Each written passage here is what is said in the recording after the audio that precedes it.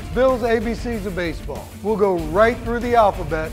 I'm going to give oh, a couple of friends here. We think about hitting in baseball, it's pretty easy for me because I can do this all day long. It's Bill's ABCs of baseball. My letter D is for this drills. Now, I know all of you youngsters out there go through drills, and some of you also go through the motion. I'm to tell you a little story.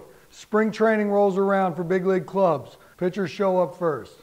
They do what's called PFPs, pitching fielding practice. A lot of that involves pitcher covering first base. My experiences, a lot of those pitchers covering first base, receiving balls from the first baseman, underhand flipping to them, go through the motion. Now, it looks okay at the big league level. They can compete, they make it look right, but during the season, we will see mishaps on PFPs covering first base. More importantly than in the season, postseason.